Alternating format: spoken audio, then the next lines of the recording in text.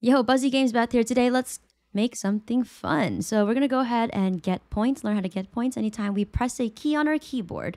So it's going to go ahead and update the leader stats value. So first off, let's go ahead and actually create our UI first. So inside of Starter GUI, add a screen GUI and a frame.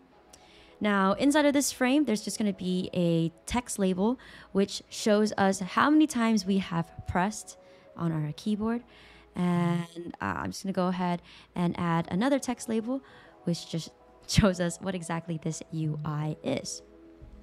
And then I'm to rename the text label that is counting the number to presses counter or press counter. And then rename my GUI to presses GUI. Let's add a remote event inside of replicated storage. And then I'm just to go ahead and rename that to presses RE. Let's go ahead and add a script inside of server script service. And we're going to go ahead and set up our leader stats here. Let's go ahead and create a player added function. We're going to create a new instance of a folder and naming that folder to leader stats. And then uh, we're going to parent the player to the leader stats uh, folder. And then we're going to go ahead and create a new instance called number value. And we're naming the number value to presses, set the value to zero, and the parent of our leader stats, I mean, of our number value is going to be the leader stats folder. So now we're going to go ahead and create one variable on the top for our remote event called presses RE. And we have an onServer event function where um, if the remote event is triggered or fired in the local script that we will be adding in just a second, then the leader stats value of our presses will be increased by one.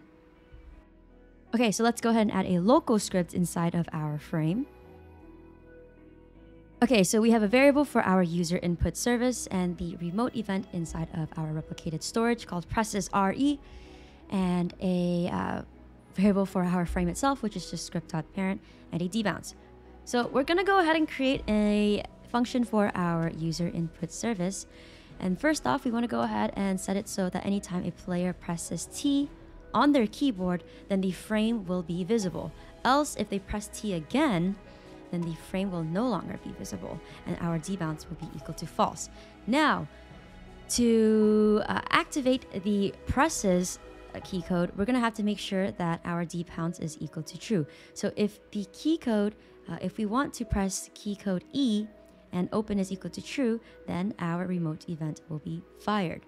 So we're going to do a while true do. We want it so that the presses counter text is the same as our leader stats value. So for example, if I pressed the E uh, once and the leader stats show 1, then the uh, presses counter text will also change to 1. Okay, so let's test it out. I open T to open up the UI, press E, and you'll see that my leader stats is updating as well as the text label. So cool. Full scripts and models will be posted on our website, link in the description down below. As always, have fun creating, and I'll catch you guys in the next video. Peace.